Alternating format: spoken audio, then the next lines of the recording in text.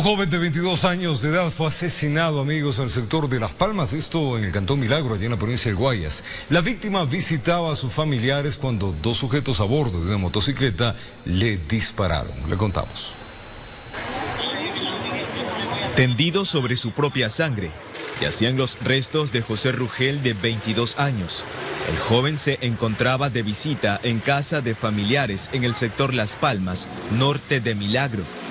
De repente, la alegría terminó en tragedia cuando recibió disparos provenientes de una motocicleta. Sí, tiene un orificio de ingreso a la altura del pómulo y un orificio de salida a la altura de la nuca. Al parecer fue ocasionado por un revólver.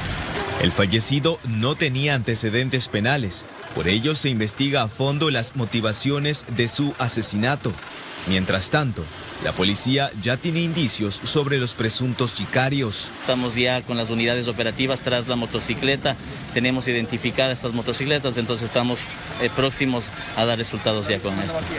Una vez levantados sus restos, el cadáver de José fue llevado al laboratorio forense del cantón, informó Eric Zambrano.